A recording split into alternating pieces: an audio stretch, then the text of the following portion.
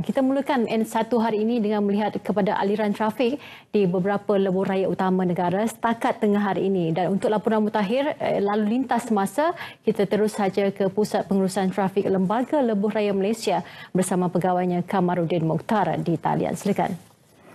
Assalamualaikum dan selamat pagi. Eh, Assalamualaikum dan selamat tengah hari.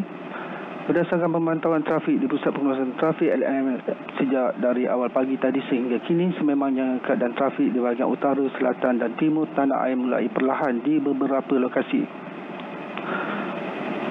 Saya mulakan dengan tinjauan di bahagian utara sekitar menora kilometer 257. Trafik pada tengah hari ini perlahan dan juga ada kala sesak menuju ke selatan dari Kuala Kangsar ke Menora. Trafik juga perlahan dari Ipoh ke Simpang Pulai berikutan pertambahan jumlah trafik dari masa ke semasa. Masih lagi dengan tinjauan di sebelah utara.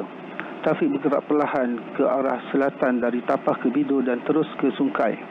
Manakala tinjauan trafik di sebelah selatan sekitar Sungai Besi, trafik kini bertali arus namun masih lagi terkawal dan trafik juga lancar ke arah selatan dari Sungai Bersih ke Kajang dan terus ke Bangi. Masih lagi dengan tinjauan di sebelah selatan sekitar Seremban, keadaan trafik masih lagi lancar dan terkawal dari Seremban ke Nilai dan terus ke Bangi.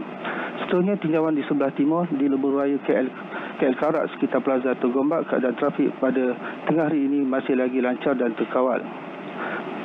Akhir sekali masih lagi dengan tinjauan di Lebuh Raya Kuala Lumpur Karak sekitar Plaza Bentong, trafik masih lagi lancar dan terkawal dari Karak ke Bentong.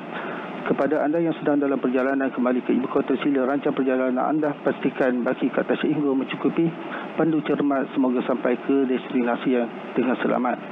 Jadi pada anda yang ingin mendapatkan laporan trafik semasa boleh menghubungi talian hotline LLM di 1-888-7752 serta boleh juga ikuti Twitter kami di LLM Info Trafik. Untuk itu sekian saja laporan trafik saya semasa dari saya Kamarudin Mohtar dari Pusat Pengurusan Trafik LLM kembali ke. Terima kasih Kamarudin untuk laporan dari LLM.